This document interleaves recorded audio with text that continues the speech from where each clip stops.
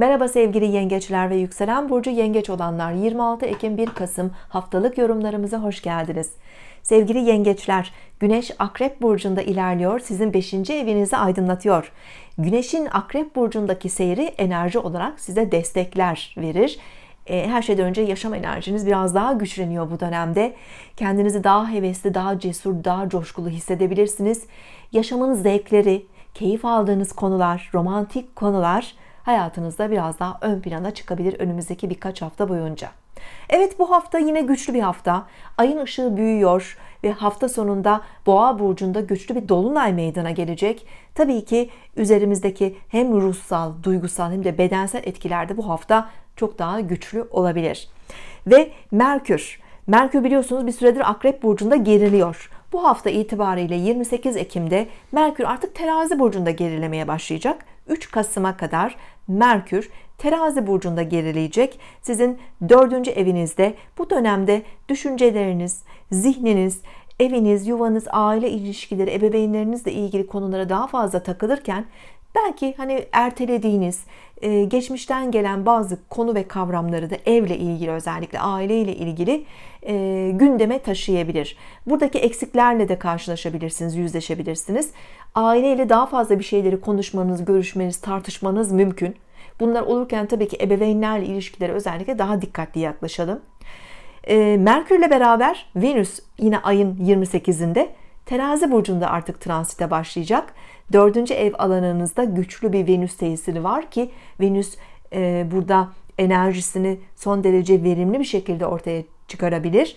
E, yine ev yuva alanlarınız ve aile konularında var olan sorunları çözmek adına Venüs'ün o hoş tesirlerini alabilirsiniz.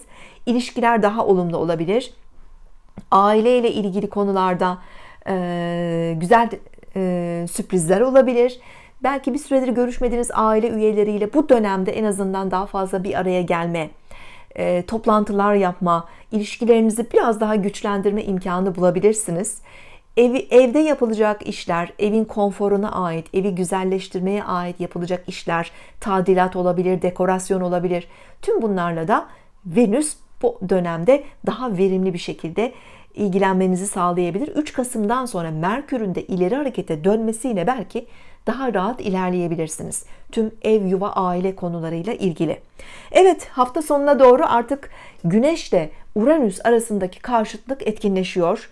31 Ekim'de Güneş Uranüs karşıtlığı netleşecek ve aynı gün yine 31 Ekim'de Boğa burcunun 8 derecesinde dolunay meydana geliyor. 11. evinizde meydana gelen güçlü bir dolunay Uranüs tesirli olduğu için Uranüs'te e, genel olarak enerjisel olarak e, çok hızlı, sürprizli, tansiyonu yüksek bir gezegendir ve dolayısıyla dolunayı da böyle bir hale getiriyor. E, sürprizlere hazır olmak lazım bu dolunayla beraber özellikle hafta sonu. 3 gün öncesi ve 3 gün sonrası tesirler en güçlü şekliyle e, gündemde olabilir. Sizin için aslında keyifli bir dolunay çünkü şans evinizde meydana gelecek. Yani bu dolunay sürpriz bir şekilde size şanslar getirebilir. Parasal konularda olabilir bunlar.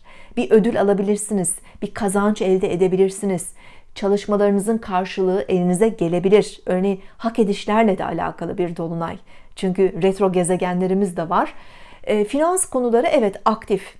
Daha önceden yapmış olduğunuz bazı yatırımlarda mesela sürpriz getiriler olabilir. Ama tabii e, çıkışlar da olabilir. Yani inişler de olabilir. Bu herkesin biraz daha bireysel haritalarıyla bağlantılı. Yani para konuların aktif olduğu bir dolunay etkisindeyiz. Bunun yanı sıra arkadaşlarla ilgili sosyal hayatınızda ilginç tanışmalar olabilir.